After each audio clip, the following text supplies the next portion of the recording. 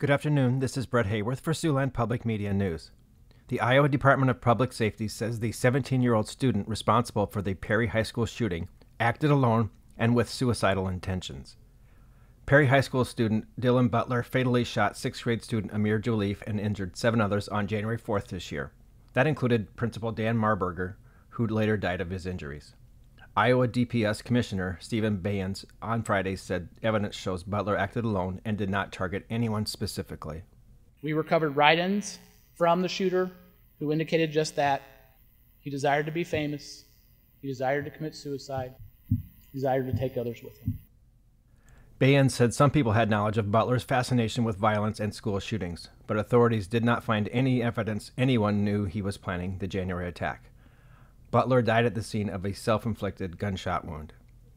In other news, farmers in the tri state area continue to work diligently at harvesting their crops well into October.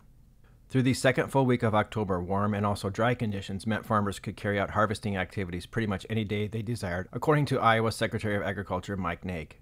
Almost half the corn crop has been harvested, which put farmers about six days ahead of the usual average timing over the last five years. Well over four fifths of the soybean crop was out of Iowa fields, which is 10 days ahead of average. Naig said that while the dry weather has allowed the harvest to rapidly progress, it's also causing some concerns. Statewide, the second reporting period in October was the driest week of the year in Iowa, and the entire month has only seen 10% of the amount of precipitation for a normal October. For Siouxland Public Media News, I'm Brett Hayworth.